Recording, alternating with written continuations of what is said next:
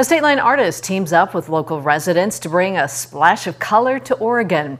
A new mural is going up on the side of the Village Bakery building.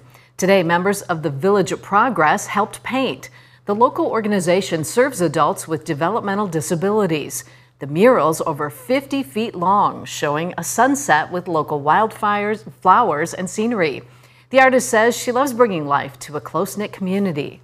I think it's important to highlight arts and culture in every community, especially our smaller communities. They're kind of where I like to highlight. Uh, I have a lot of work in Chicago, but it's definitely my bread and butter to to do a lot in the smaller communities. I'm from Dixon, and I love, you know, people really care about their smaller communities and the small towns.